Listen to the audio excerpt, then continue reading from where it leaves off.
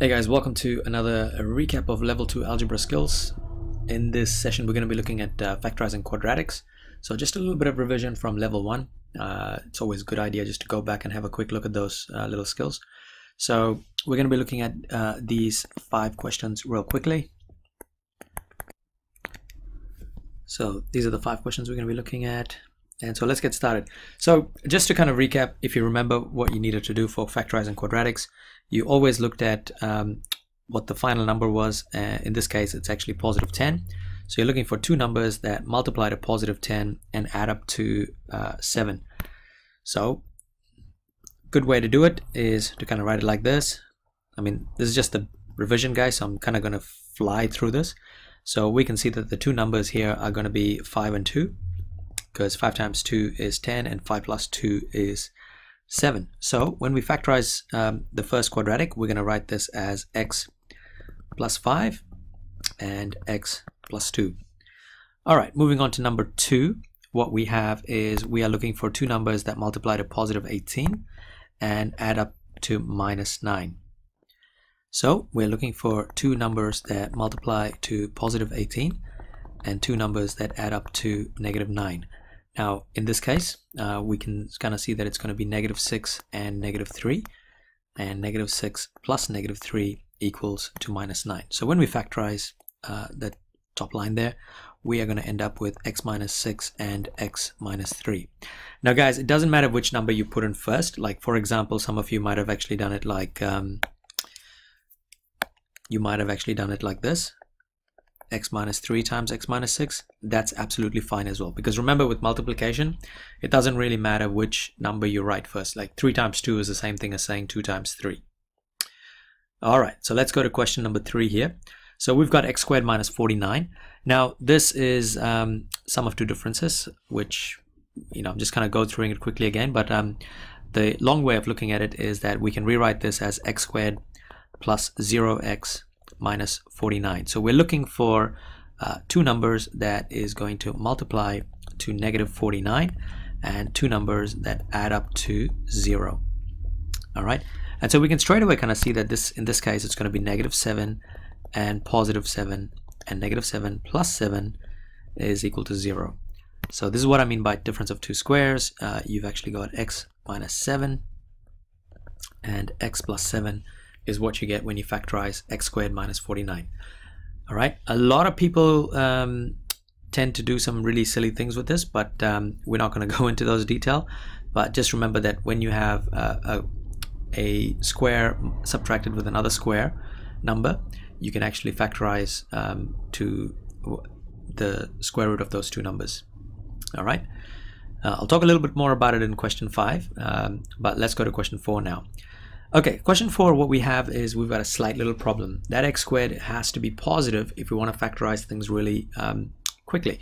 So because we've got a negative, what we're going to do is we're going to rewrite this as negative. So we're going to take that negative out as a common factor and write as negative 2x and minus 3. And now what we're going to focus on is that we are going to be looking um, for two numbers that's going to be multiplying to negative 3 and add up and add up to negative 2. Now, as for the negative sign, we're just going to leave it outside, let it hang out there, that's fine. So we're looking for two numbers that multiply to negative 3 and two numbers that add up to negative 2. So they got to be the same numbers. So we can see that it is going to be, let's get a different color. It is going to be negative 3 times positive 1 and negative 3 plus 1 equals, oh, forgot the 2, equals negative 2. So when we factorize this, what we're going to do though is that we're still going to put that original negative sign in the front there. And then our first bracket is going to have x minus 3 and our second bracket is going to have x plus 1. All right, and you can leave it like this or you could bring negative into one of those brackets as well. So you could actually have it like where negative times x and negative times negative 3 and rewrite it as negative x plus 3 and x plus 1 like that as well. So yeah, multiple ways of writing the final um, answer in terms of factorizing. But yeah, uh, but it's you've got to get rid of the negative first before you start factorizing. All right, and we get to our last question, question five. Now, as you can see, question five is very similar to question three because what you have is you've got a bunch of squared numbers. You've got 16, which is 4 squared. You've got 25, which is 5 squared. And then you've got x squared itself. All right. So what we're going to do is, I mean, obviously with this one, it is, you know, you don't want to be trying to figure out, take out the negative 25. I mean, we can just straight away look at this and go, well, this is going to be um, difference of two squares.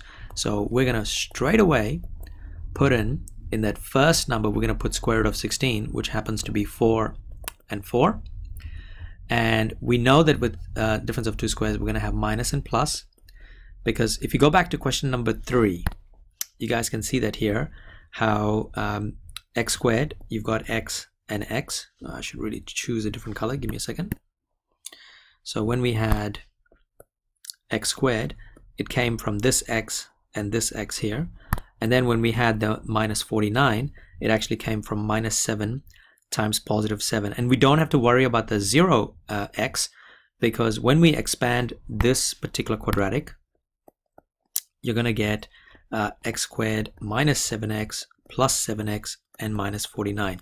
And what you'll notice is that that part there becomes a 0 anyway. So if we were to follow that principle, we're kind of going backwards now.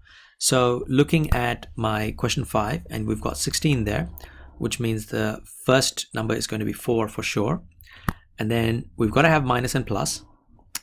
Then what we have is 25x squared. Now if you take square root of 25x squared, you are going to get 5x. And that means on the other side, you're also going to get 5x.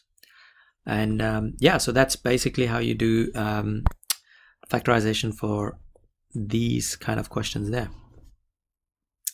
All right, guys, I know I said it was going to be really quick, but I didn't realize I ended up talking for six and a half minutes. But uh, yeah, this is all you kind of need to know for factorizing quadratics, the basics from level one.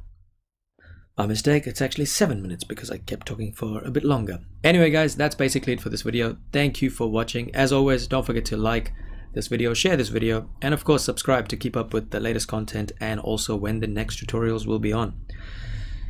There should be some playlists popping up, check them out. And as always, thank you for watching guys.